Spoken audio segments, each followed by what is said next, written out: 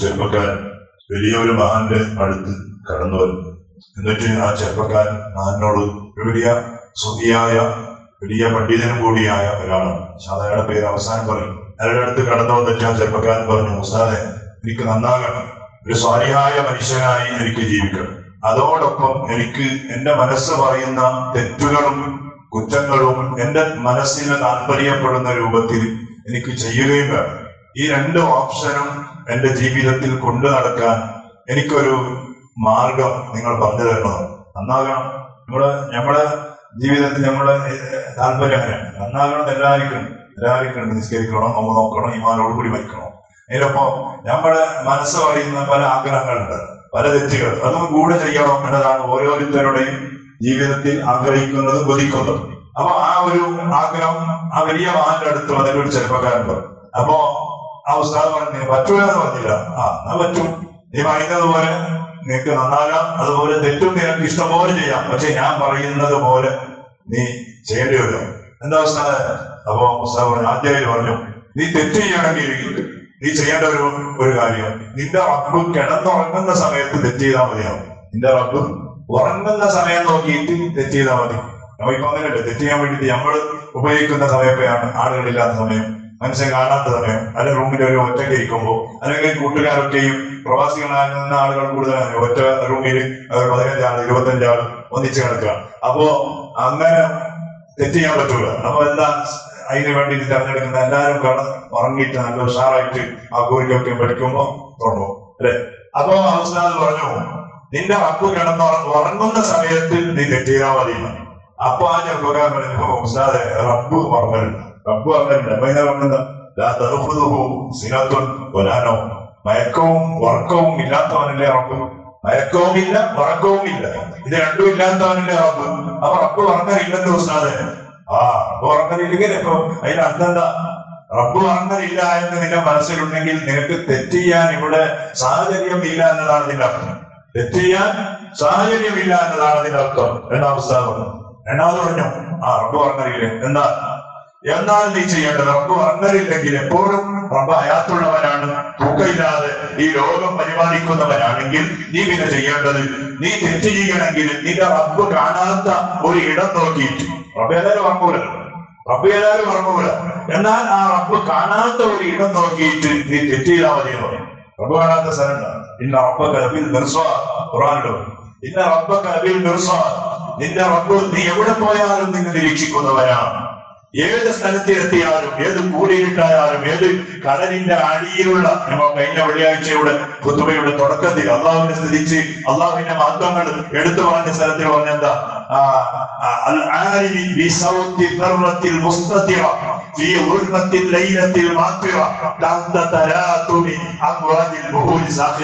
തുടക്കത്തിൽ തുടക്കം തന്നെ പറഞ്ഞവരാണ് ആ പഠിച്ചവൻ ആരാണ് അല്ല ആരും? അവൻ അറിയുന്നവരാണ് ചെറിയ ഒരു കഥകിന്റെ ശബ്ദം. ചെറിയ ഒരു കഥകിന്റെ ശബ്ദം പോലും അറിയുന്നവരാണ്. എപ്പോഴുള്ള ശ്രദ്ധയാണ്? ഈ ഉൽപ്പത്തിൽ ലൈലത്തിൽ മാത്രം. നല്ല ഇരുട്ടുള്ള രാത്രിയാണ്. ആ ഇരുട്ടുള്ള രാത്രിയിലാണെങ്കിലോ ശക്തമായ മഴയുമുണ്ട്. ഇരുട്ടുള്ള രാത്രിയാണ്. ശക്തമായ മഴയുമുണ്ട്. അങ്ങനെയുള്ള ആ രാത്രിയിൽ അള്ളാഹു കടുകിന്റെ ആ ശബ്ദം കേൾക്കുന്നവരാണ് അറിയുന്നവരാണ്. എവിടെയുള്ള കടുകൻ തവയോ? എന്ന് പറയാ? ഈ ആണ്ട് കിടക്കുന്ന വിശാലമായ ഒരു കടൽ.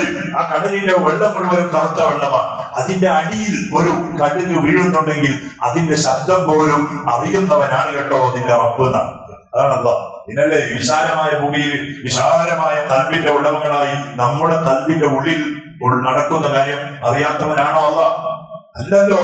അപ്പൊ ഉസ്താദ് ആ മനുഷ്യനോട് പറഞ്ഞു ആ ചെറുപ്പക്കാരോട് പറഞ്ഞു യുവാവിനോട് പറഞ്ഞു ഓ മനുഷ്യ നീ തെറ്റ് ചെയ്യുന്നുണ്ടെങ്കിൽ റബ്ബ് എല്ലാവരും എന്നാൽ റബ്ബ് കാണാത്ത ഒരു ഇടം നോക്കിയിട്ട് നീ തെറ്റ് അപ്പൊ ആ ചെറുപ്പക്കാരൻ പറഞ്ഞ റബ്ബ് കാണാത്ത സ്ഥലം ഈ ഭൂമുഖത്ത് എവിടെയും കാണുന്നില്ല.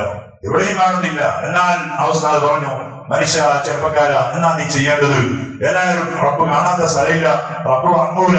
എന്നാ നീ ചെയ്യേണ്ടത്?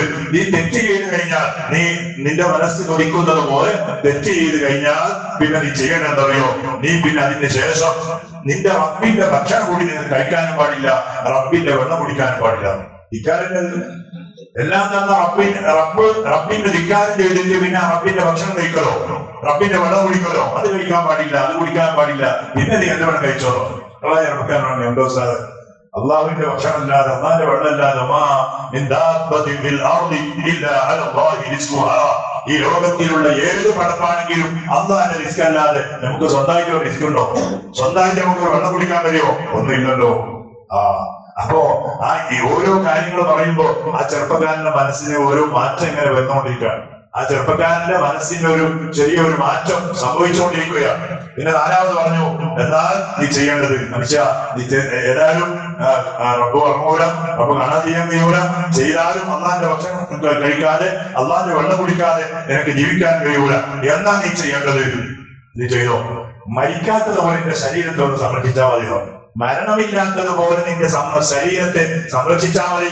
കാരണം പിന്നെ ഇതിന്റെ ഇസാബുമായിട്ട് നടക്കും കണക്കും കാര്യങ്ങളൊക്കെയും വരാനുള്ളത് മരിക്കാതെ നിന്റെ ശരീരത്തെ നീ പിടിച്ചിക്കണോ അയ്യോ കഴിയോ? ഇന്നത്തെ സാഹചര്യത്തിൽ എന്തെല്ലാം മരണ വാർത്തകൾ എത്ര മരണ വാർത്തകളാണ് സ്വാഹാനല്ലോ ഈ മോർണം കഴിഞ്ഞതിന് ശേഷം ഓരോ ദിവസങ്ങളും ഞങ്ങളെ നെട്ടിപ്പിക്കുന്ന വേദനിപ്പിക്കുന്ന പല രൂപത്തിലുള്ള മരണങ്ങൾ.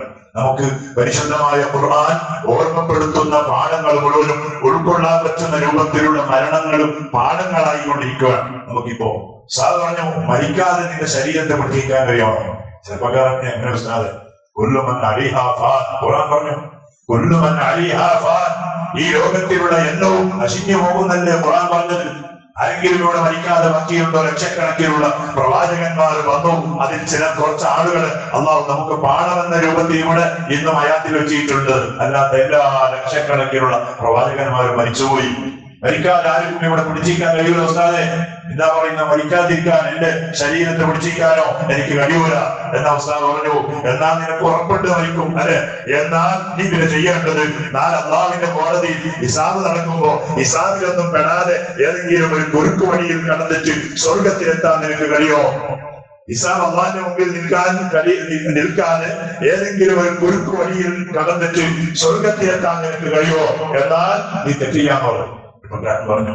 ഇല്ല ഉസ്താദെ എനിക്ക് തെറ്റ് ചെയ്യണ്ട. എനിക്ക് തെറ്റ് ചെയ്യണ്ട സ്വാരിയായാ മതി? എനിക്ക് നല്ലൊരു മനുഷ്യനായി ജീവിച്ചാൽ മതി.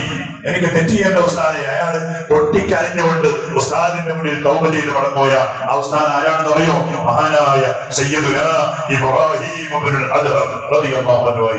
വലിയ മഹാനല്ല ഉള്ളത് അയാളെ കുറിച്ച് തന്നെ ആ മഹാനെ കുറിച്ച് പറഞ്ഞാൽ തന്നെ എത്രയോ പറയാനുള്ള ദിവസങ്ങൾ. ലോകം അദ്ദേഹത്തിന്റെ ജീവിതം മുഴുവനും അള്ളാഹുവിന് വേണ്ടി നീക്കി വെച്ച വലിയ മഹാനാണ്. ഫക്കീറായിരുന്നില്ല ദരിദ്രനായിരുന്ന ഒരു വലിയ രാജാവാണ് ഒരുപാട് രാജ്യങ്ങളുടെ കിരീടം ധരിച്ച രാജാവായിരുന്നു. അള്ളാഹുലേക്ക് ലയിച്ചപ്പോ അതൊക്കെയും നീക്കിവെച്ചു എന്നിട്ട് അദ്ദേഹത്തിന്റെ അടുത്തേക്ക് എത്തുന്ന ഒരുപാട് പാവങ്ങളായ ചെയ്- പാവങ്ങൾ ചെയ്ത ആളുകൾക്ക് നേർവഴി കാണിച്ചു കൊടുത്തു. അതിൽപ്പെട്ട ഒരു ആളായിരുന്നു ആ ചെറുപ്പക്കാരനോട് മഹാനായ ഇബ്രാഹിം അത് അള്ളാഹു പറഞ്ഞു കൊടുത്തു. അപ്പൊ ഈ വാദം എന്തായിരുന്നു? ആയത്തുൽ കുർസിയുടെ വ്യാഖ്യാനായിരുന്നു ആയത്തുൽ കുർസിയുടെ വ്യാഖ്യാനമായിരുന്നു. പടച്ചറപ്പ് ഉറങ്ങൂല പട- പടച്ചറപ്പിന് മയക്കമില്ല. എപ്പോഴും നമ്മൾ നിരീക്ഷിക്കുന്നവരാണ്. നമ്മുടെ കൽവിൽ എപ്പോഴും വേണ്ടത് നാം കുടിക്കുന്നതും കഴിക്കുന്നതും അള്ളാഹുവിന്റെ ഭക്ഷണമാണ്. മരിച്ചു നോക്കേണ്ടവരാ മരിച്ചാൽ അള്ളാഹുവിന്റെ മുമ്പിൽ എത്തി എത്തിപ്പെടേണ്ടവരാണ്. അപ്പൊ അതിന് എന്ത് ചെയ്യണം? അതിലൊക്കെ നമുക്ക് സന്തോഷിക്കണമെങ്കിൽ നമ്മുടെ ഈ ജീവിതം അള്ളാഹു പൊരുത്തപ്പെട്ട ജീവിതമാണ്. അള്ളാഹു നമുക്ക് ദൗത്യം ചെയ്യണം അള്ളാഹു പൊരുത്തപ്പെടുന്ന ജീവിതം. നമ്മുടെ ഓരോ സെക്കൻഡുകളും ആ രൂപത്തിനായി മാറ്റിയെടുക്കാൻ നമ്മുടെ കൽബിന് അള്ളാഹു ഈമാനാകുന്ന പ്രകാശം കൊണ്ട് നമ്മുടെ കൽബിന് അള്ളാഹു പ്രകാശിപ്പിക്കട്ടെ. പടച്ചോനെ ജീവിതത്തിന്റെ ദുർബല നിമിഷങ്ങളിൽ ഒരുപാട് തെറ്റുകൾ കുറ്റങ്ങൾ അറിഞ്ഞ് അറിയാതെ ചെയ്തു. നീ കൽപ്പിച്ച ഒരുപാട് കൽപ്പനകൾ പടച്ചവനെ ഞങ്ങൾ കൈവിടിഞ്ഞു.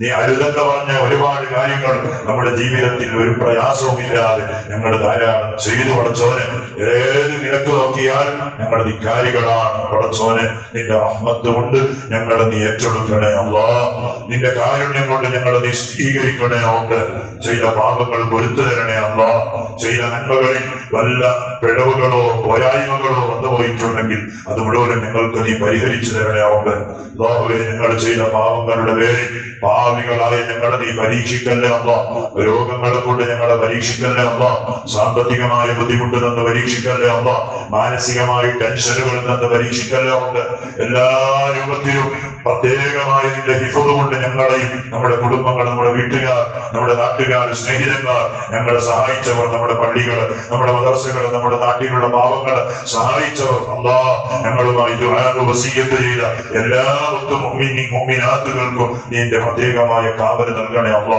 ഇഫത നൽകണേ അവന്റെ പ്രവാസികളായി അധ്വാനിക്കുന്ന നമ്മുടെ കുടുംബങ്ങളും നാട്ടുകാരും സ്നേഹിതന്മാരുമായ ഒരുപാട് ആളുകൾ ആഫിയത്തുള്ള ദീർഘ ആയുസ് കൊണ്ട് അവരെ നീ അനുഗ്രഹിക്കണേ അവർക്ക് അവർ ചെയ്യുന്ന ജോലി അവരുടെ കച്ചവടം അവരുടെ എല്ലാ പ്രവർത്തനങ്ങളിലും വിചാരിച്ചതിനേക്കാളും വലിയ സന്തോഷം നൽകണേ അമ്മ പല രൂപത്തിൽ മാനസികമായി തളർന്ന് ജീവിക്കുന്ന ഒരുപാട് പ്രവാസികൾ ദ്വാരക്കാൻ വേണ്ടി വസീയത്ത് ചെയ്തവരാ പടച്ചവനെ അവരെ നീ സഹായിക്കണേ അമ്മ നാട്ടുകാരായ ഈ സദസ്സിലുള്ളവരും നമ്മുടെ നാട്ടിലുള്ളവരും പലരും പല രൂപത്തിലുള്ള ജോലി ചെയ്യുന്നവരാണ് അവർക്ക് ആഫിയത്ത് നൽകമ്മ ശരീരത്തിന്റെ ഹിമ്മത്ത് നൽകണേ ഉണ്ട് അമ്മ പല രൂപത്തിലുള്ള കച്ചവടം ചെയ്യുന്ന ആളുകളുണ്ട്.